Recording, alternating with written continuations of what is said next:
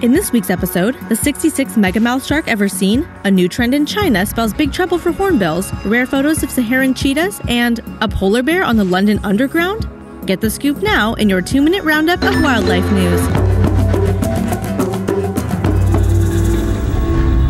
Demand for ornate carvings has given rise to a disturbing new trend carvings from helmeted hornbill beak. The beak now fetches up to five times the price of ivory on the Chinese market. With habitat loss already against them, the trend could be the last nail in the species' coffin. Speaking of coffins, a rare megamouth shark washed up dead this week in the Philippines. Sightings like this are rare. The species wasn't discovered until 1976. Only two living megamouths have ever been studied, and this is only the 66th one ever seen. In more rare sighting news, after deploying camera traps for a thousand nights, Algerian scientists have finally photographed the critically endangered Saharan cheetah, one of the rarest big cats in the world. To find out more, check out the link in the video description. Staying in Africa, it appears Hungry Hungry Hippos has taken an unexpected turn. Scientists in the Kruger National Park have documented one of the first cases of cannibalism in hippos. Mostly thought to be herbivores, hippos have actually been spotted eating a slew of meaty treats, including fish and impala. Off to the States and a breakthrough in shark breeding. Meet Fern, a 20 year old zebra shark at California's Aquarium of the Pacific. Fern isn't just any old shark, her two pups are the first ever conceived using artificial insemination. This breakthrough could seriously help battle population declines.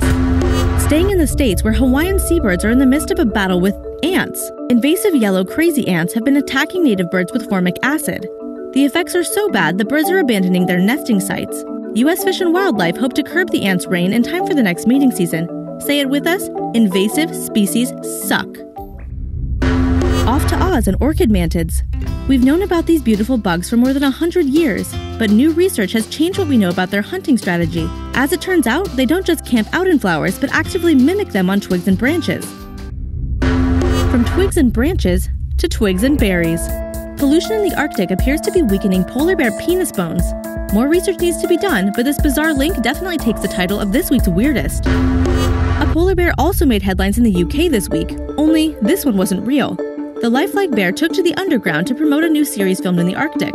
In the face of climate change, we hope animatronic won't someday be the only way to enjoy these iconic animals.